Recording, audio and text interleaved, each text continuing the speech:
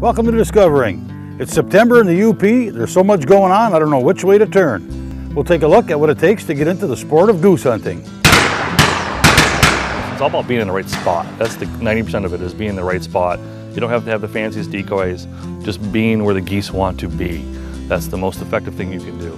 Also, raccoon trapping, the Liberty Hunt, the small game forecast, and more. Stick around for that and more tonight, right here on Discovering. The secret streams that flow beneath the cliffs of colored stone. Forest thick and healthy with birch and pine and oak. Surrounded by the greatest lakes this world has ever known. The black bear's awesome presence as he roams the hills and fields. Call of the timber wolf, the loon's lonesome trill. The eagle soaring high above, the trout lies deep and still. These are what I treasure, the only way I measure. Feelings that I have for this fine land. There is so much to discover when you're a long-time lover of northern Michigan.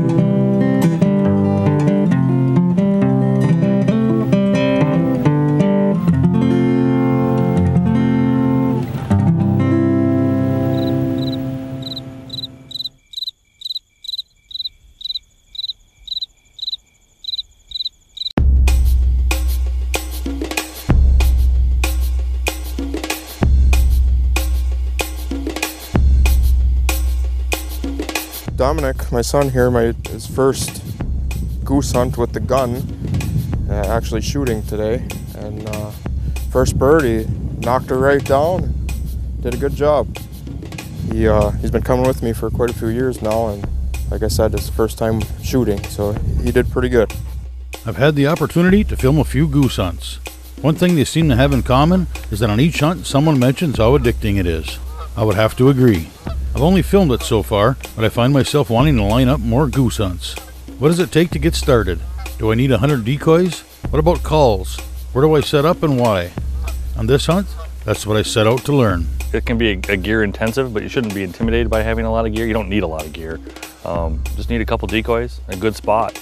And, and the key with goose hunting, just like deer hunting and anything else, is, is scouting.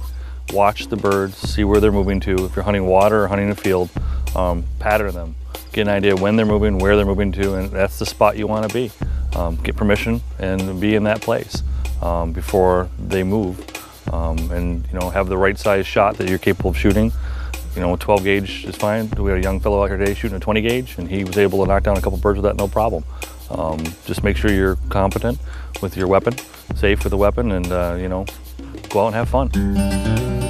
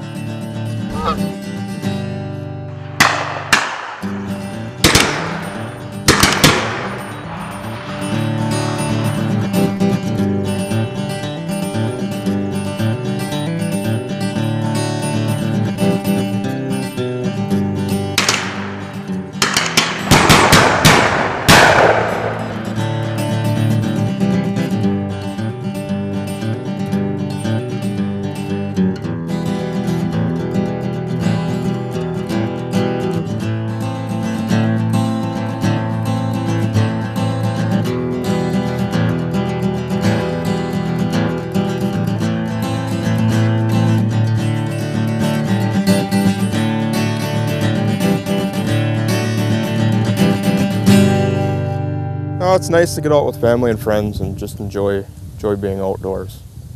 It's not always about how many you shoot.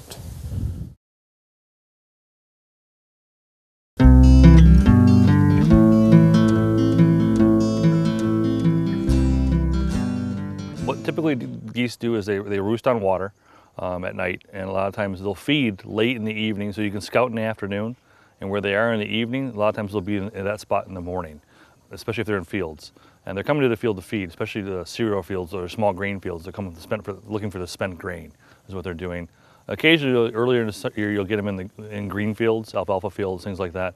But a lot of times as the fall goes on, they start hitting the oat fields, the wheat fields, and the barley fields. And then late when the corn comes off is when they start really um, using the, the picked cornfields. There's a lot of cover in cornfields. It's a lot easier to hunt. You don't need to have blinds and all that stuff. A lot of times if the corn's standing, you can, you can hide in the corn. Um, it makes it a little, little easier for people to, to get into it.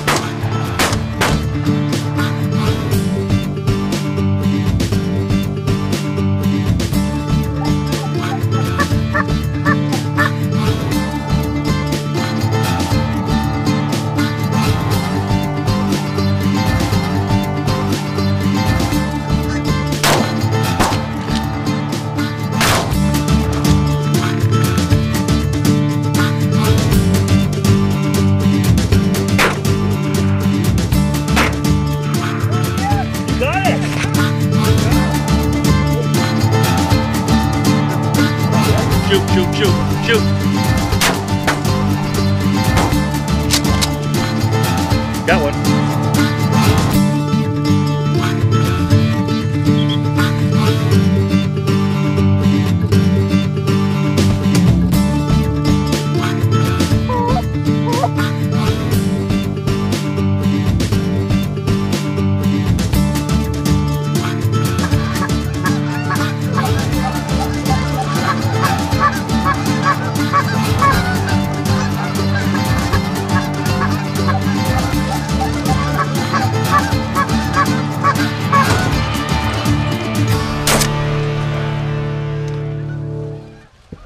I like to use a flag a lot. Uh, the movement, that's the, the, the flag we are waving around in the field.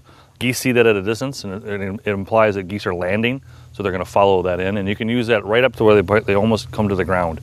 Um, calling, you know, you, you don't have to be a, a, world champion caller to be effective for geese. If you can just make a, a honk noise, uh, a little bit of a growl to get them right when they're going to land, um, those can be effective. Sometimes you don't you don't need calls. It's, it's all about being in the right spot. That's the 90% of it is being in the right spot.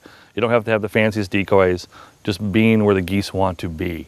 That's the most effective thing you can do. Um, calling is something you need to practice with, and, and you want to mimic natural geese. So go out and watch them on a lake or a river someplace or in a field. Listen to them. See what they're doing, how they talk to each other, how they respond when other geese are flying into a flock that's already on the ground. Uh, and pay attention to that. That's what you want to. You want to sound like that. You want to make them feel comfortable, so they're going to come close by. The guys they had a combination of different models and blinds, and when they first came on the market 10 years ago, they were pretty expensive. But nowadays, they're they're quite reasonable and they're easy to get. Um, the key with blinds is get one that's comfortable. Practice using it. It's a lot different hunting from a laying down position and sitting up and shooting because um, the birds are going to be really close. It's hard to get used to the distance and it takes a couple seconds to get up and be in a position to shoot. So it's, it's good to practice that way. You know, don't just be practicing from a standing position like you would at a skeet range. Um, it's something you need to get well versed with and how to do it safely with the weapon um, because I've seen people accidentally discharge a, a, gun in a blind like that and it could be it could be dangerous. So you got to be careful with it. Well, you have to use non-toxic shot when you're hunting waterfowl uh, anywhere in North America. So you know that that can be steel shot, uh, it can be the tungsten iron, it can be the bismuth, all the fancy shots. Um, generally for geese, most people are shooting um, BB, triple BB, something in that range, or ones. Um, you can shoot them with twos too, um, especially if you're shooting ducks at the same time. Um, with the 20 gauge, it's hard to get the larger size shot. Um, so typically twos, if you're, you're, most people are shooting twos with a 20 gauge. And in that case, you know, you don't have as much shot volume in the shell because it's smaller. Plus, you you know you, you don't have as much um, distance with it, so you, you got to watch your range. And that's probably one of the most key things people do is they struggle with trying to get used to what's range. And when you put out your decoys or whatever, you use your decoys as a gauge of how far you can shoot. Um, it's you know you don't want to shoot past 30, 35 yards. Any more than that, and you're more likely to wound a bird and lose it than you are to, to, to have a killing shot on a bird. Uh, this year, you know, we had the early season was September 1st through the 10th, and then our regular season runs for uh, from September 11th all the way till December. Um, we try to maximize the amount of days that we have where we have geese. So we run back to back. So we have a very, very long liberal season in Michigan this year for geese. Hunters seem to be very happy with that. The guys I've talked to, run into, are, are very satisfied with it. And our duck season starts um, September 27th and runs for 60 days, six birds a, a day. And this year, the, the, major change for duck season um, will be you're allowed to shoot two hen mallards. Um, we're allowed four mallards in the bag out of six, but in the past, Michigan's always been very conservative about mallard hen harvest. Um, this year, we're allowing two. Uh, we've had some research that was recently concluded that showed that you know we can't stockpile them, um, and it, it, harvesting is not adding to the, the mallard decline. What drives mallard populations more than else in the Great Lakes Basin is, is water levels. And as we see the Great Lakes water levels return to a more normal or higher level than they have been in the last decade, we expect to see mallard populations respond accordingly and actually increase.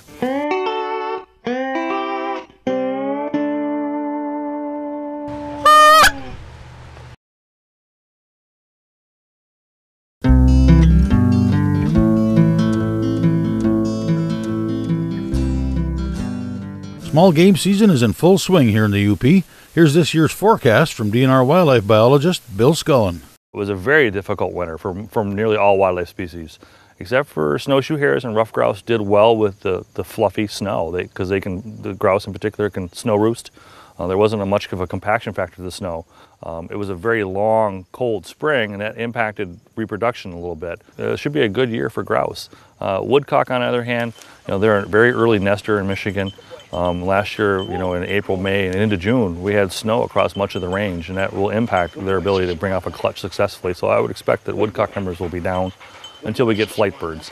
Uh, as far as local production, it would be down. It's a good year for acorns, so it should be, uh, again, a good year for, for squirrels if you, got, if you can focus on some place where you have hard mass being produced. Um, snowshoe hares last year, like I said, they, they did pretty well on survival, so I'd expect that you find those pockets of young forest habitat, they like a lot of structure, low to the ground. They like a lot of conifer cover, overhead cover. And you know, those are good places. Those swampy areas are good spots to go out and look for snowshoe hares. There should be pretty good numbers this year. We have a very limited pheasant hunt in the UP, in the central UP in Menominee counties and Dickinson and Iron. 90% of it occurs on private land. So it's again, it's one of those things where you got to knock on doors, you got to ask for permission. Um, pheasants are going to be where there's cover. In the morning, they have a tendency to, to, to move from where their roost spots to their feeding sites. So if you're looking at a cover crop field where there's an old hay field or something or a CRP field, they're going to move from that to a grain field to feed during the middle of the day and then they'll, they'll come back and roost at night. Um, there's opportunity out there and I know people who go out and they, are successful uh, getting a UP pheasant, which is kind of a very unique trophy. Fall is one of the greatest times here in the UP, so get out and enjoy the outdoors. Raccoons are masters at gobbling up gardens, cleaning out bird feeders, and getting into your trash. The season of trap raccoons opens October 1st. Here's a look at an innovative trap designed to catch coons and only coons. They're in the cornfields at night feeding corn, and they got trails going back here underneath the trees where they go down into the bedding area. So if you can locate these trails, good place to catch them. And I'm going to show you how these little coon cuffs work. Pretty simple device. Okay, a coon cuff is a, they're called a dog-proof trap. What they are is a uh, specifically designed to catch a raccoon and nothing else. The opening here, the raccoon has to put his hand down in there, his paw, and the trigger device inside of here is designed so that he has to pull up on the trigger to make it spring. Raccoons by nature have them, their claws on the front, they're used to picking things up and pulling stuff. And if a dog would put his foot in there, he'd just try to push down, he wouldn't spring the trap, or a cat. Where a coon, as soon as he reaches in there, he's trying to pull that bait out of there by nature, and he'll pull that trigger up and he'll get caught. You can see there's a wire hook here that's spring loaded and when you squeeze that together, it makes an opening in there. When it springs, the animal's foot is caught in that trap. And what we use here for bait is a good old fashioned mini marshmallow. One of the coon's favorite favorite foods. So we'll put a few marshmallows around the ground here just to get them coming. Pack that inside of that trap with marshmallows. Make sure that if you go underneath the trigger, fill them right up. But once they get a taste of these marshmallows, they love them. And to set them, we use this little setting device. It helps to set the trap. They're a little bit tough to set. So we just, it clips in here like this. When you depress that spring, the dog goes into that notch.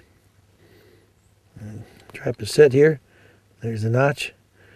And that coon reaches in there, starts to pull them marshmallows out of there.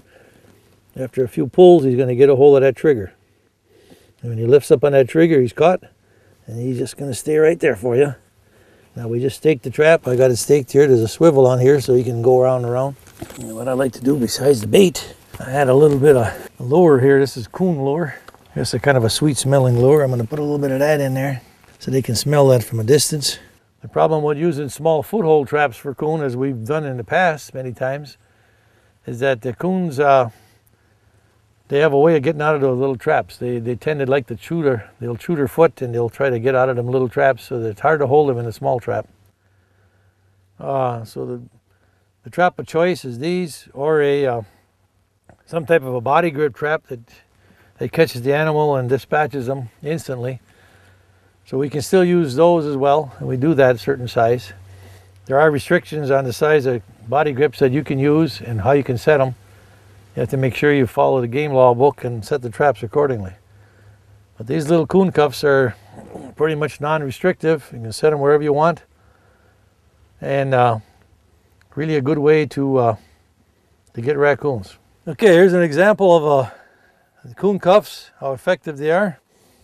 We've this coon was live when we got here, of course, and we've dispatched the animal. But uh, you can see how the cuff does his job. Catches the catches the coon. They can go around and around the stake if they want here. Usually they're sitting right there waiting for you. Uh, and again, a selective trap. Uh, you don't have to worry about uh, dogs or cats or anything else. It's specifically designed for raccoon. Again, these are a good thing for youngsters if you want to get out trapping coon. They're easy to set and uh, you can use them right close by uh, farms, whatever, wherever there's uh, raccoons. So it's a good way to get started on raccoon trapping with a minimal amount of, of uh, expertise. They're pretty easy to catch.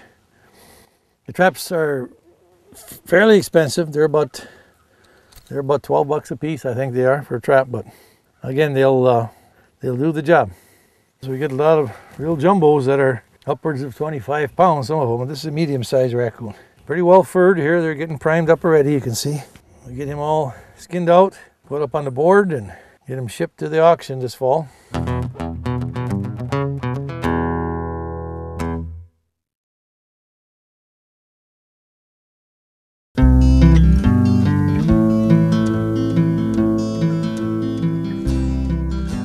If you'd like to know more about habitat improvement, here's something you might be interested in.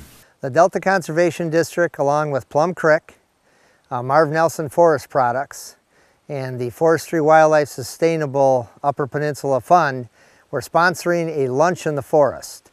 It's patterned after uh, MSU's when they do the breakfast on the farms. Um, what you're going to see there if you go to it is we're going to talk forestry, wildlife, forest health, invasive species, um, best management practices and harvesting.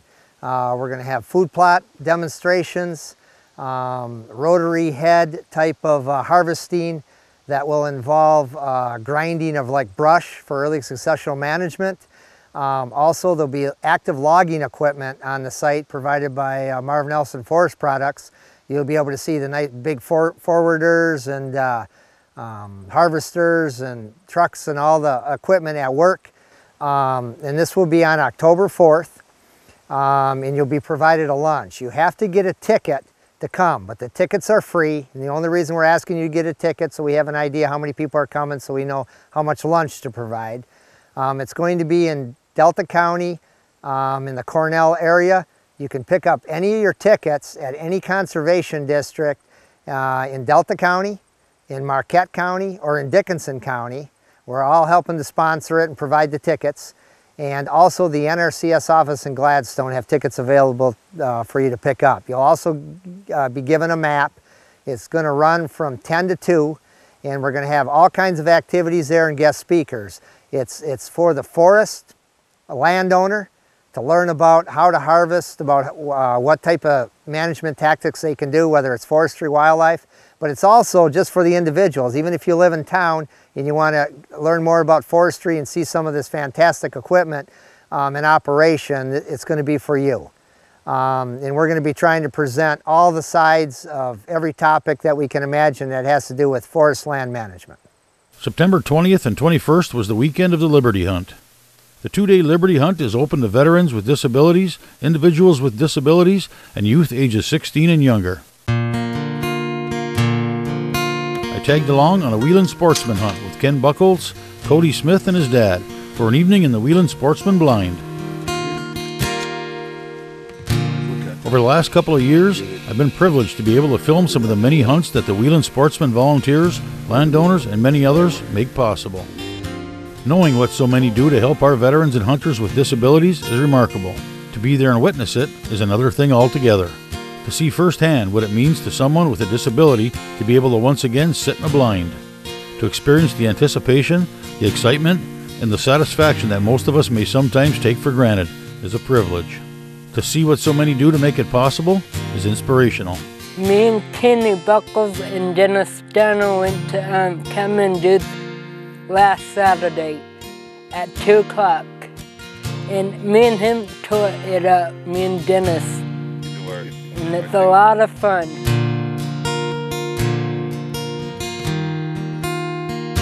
If you're a hunter, a landowner, someone who'd like to help in any way, don't hesitate to contact the Wheelin Sportsmen folks in your area. Hunting is always fun.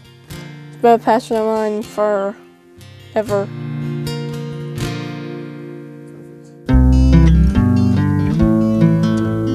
Well, that's it for tonight. I hope you enjoyed watching. We'll see you next week right here on Discovering.